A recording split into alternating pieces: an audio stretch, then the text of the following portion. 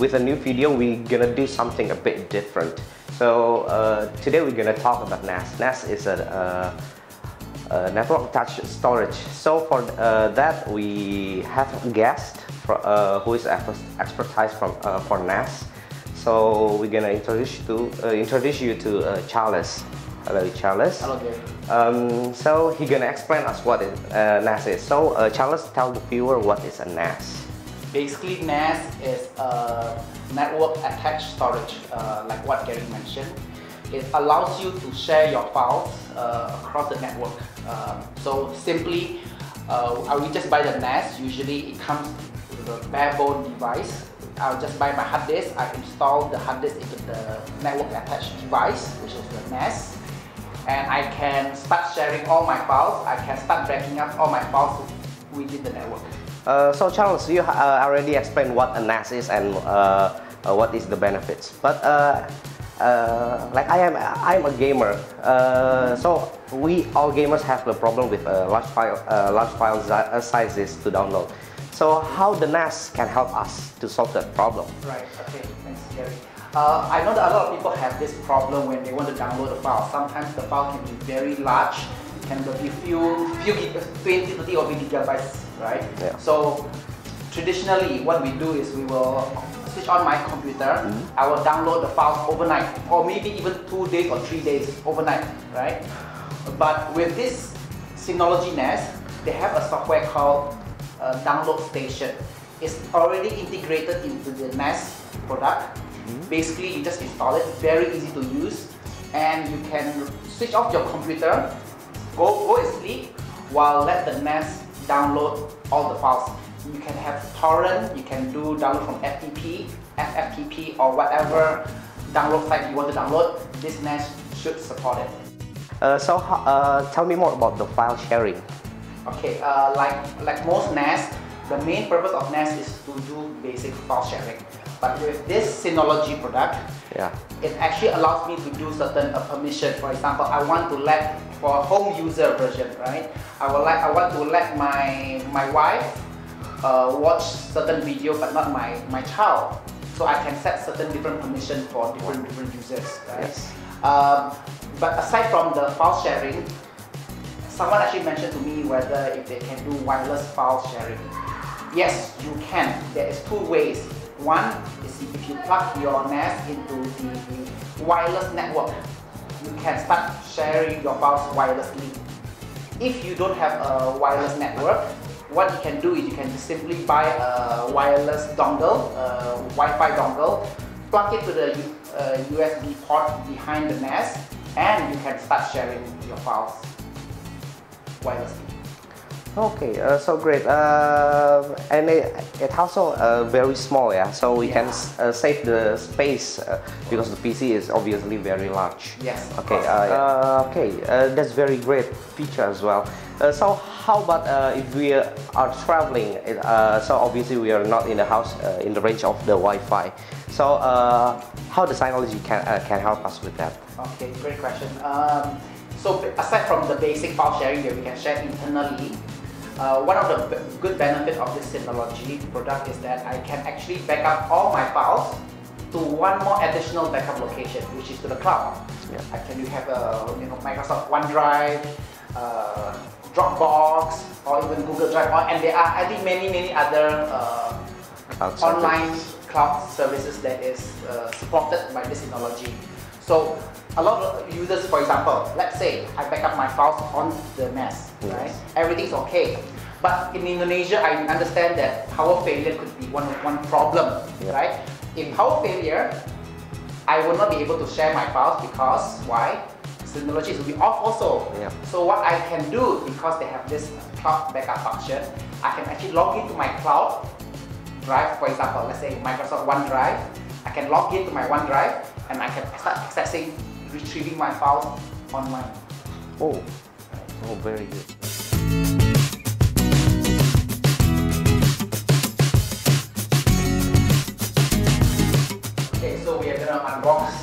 Today. Gonna unbox this DS216SE.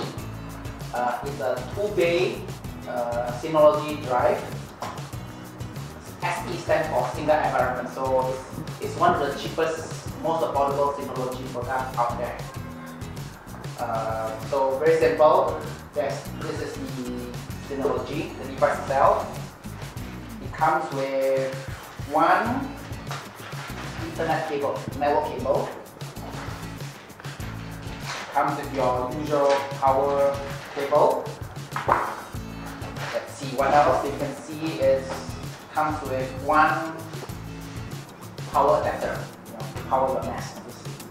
Um, and comes the usual warranty card, or maybe it's not really it's a um, intro. Okay, Synology quick installation guide.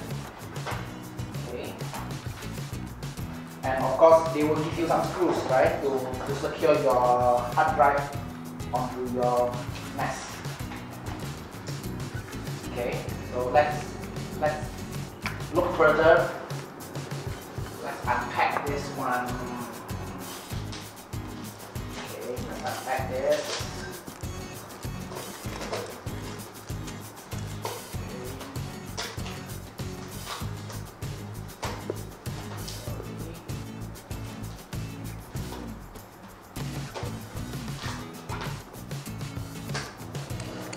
Okay.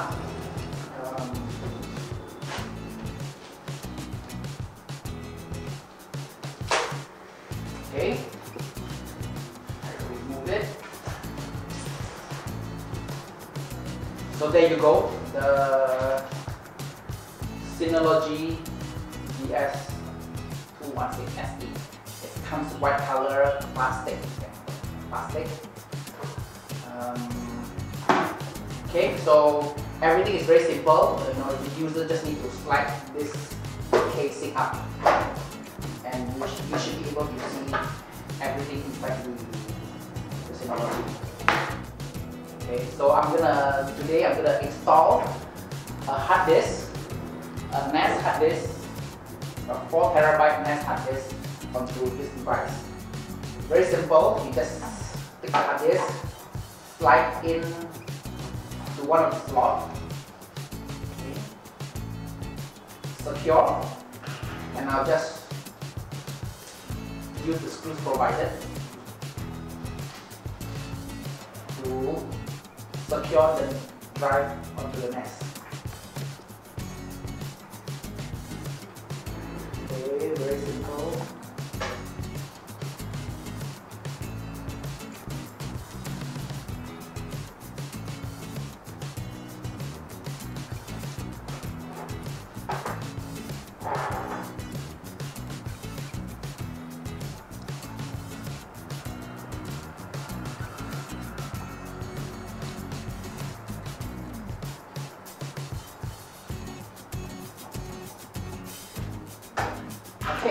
So the drive is secured now. Basically, I just slide back the Synology in, slide it back.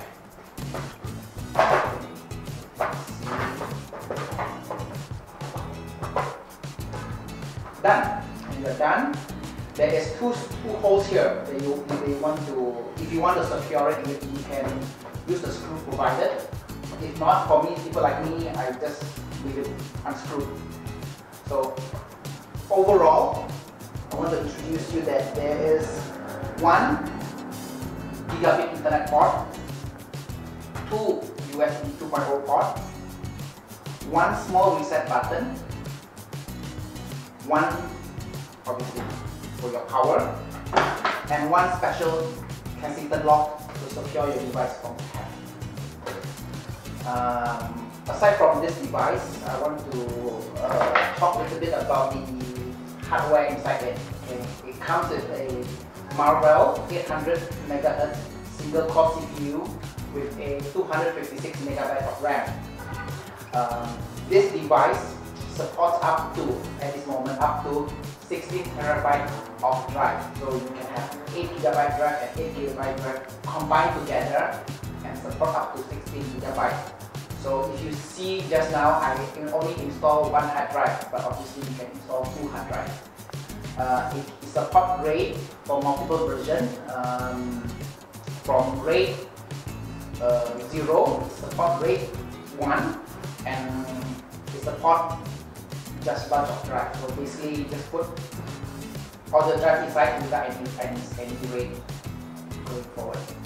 Um, okay, so performance of this drive, uh, according to Synology, is about download speed you can achieve around 103 megabits per second. Upload approximately about 62 megabits per second. Of course, all these determines by your uh, network performance and your computers. That all these affects your speed. Okay. So okay. Um, so this device, okay, aside from the basic file sharing, you can do your VPN server, mail server, media server, or whatever server it should support it. Um, so bottom line, okay, basically this NAS is a centralized place for you to put all your digital files uh, and share it in your local network, okay. And Synology is actually one of the biggest player in the market, um, biggest consumer NAS player in the market. And one of the main reason why I choose Synology uh, because it's actually simple to use easy to use with their Synology disk, uh, disk station management OS um, this DS216SE actually is suitable for people with about you know if you have about two to three people sharing files in your within your office accessing the files simultaneously this would be a good device for you to get. Okay. Um, so if you look at the device it's actually very small okay? Let's say let me compare this is my typical mouse that I use. If you look at how small it is it's actually very very very small uh, compared to a traditional desktop uh, configuration we, we actually take up the entire space. So this is very single space very space saving and it will look good on if you put it at home right? Uh, so there you have it. Uh, we already learned a lot about NAS uh, and thank you to Charles uh, you for, to, for coming yeah for coming in and educate us about NAS and especially Synology product uh, so uh, if you like this, this video, please uh, like it and leave a comment at below. And check out our uh, other videos and subscribe if you haven't already. And see you in the next video.